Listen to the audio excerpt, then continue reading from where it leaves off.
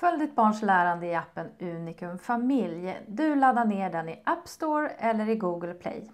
När du loggar in i appen tar du enkelt del av dina barns lärande. På första sidan ser du meddelanden från förskolan. En kom ihåg-lista som påminner om vad som är på gång och när. Dina barn och deras lärande i form av lärloggar. När ditt barns pedagog har skickat ett meddelande markerat som viktigt så syns det längst upp på första sidan. Du kan klicka dig vidare och ta del av alla meddelanden för senaste månaden.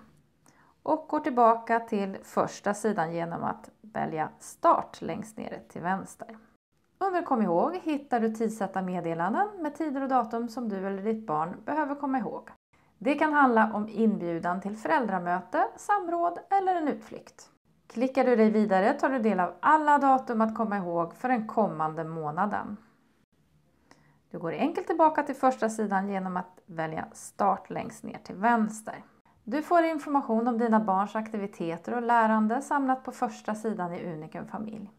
Men vill du endast ta del av information kring ett av dina barn kan du välja det här eller genom att klicka på bilden av dig själv och välja vem av dina barns startsida som du vill se. Längst ner på första sidan hittar du ditt barns lärande. Vill du läsa mer kan du klicka och få upp hela inlägget.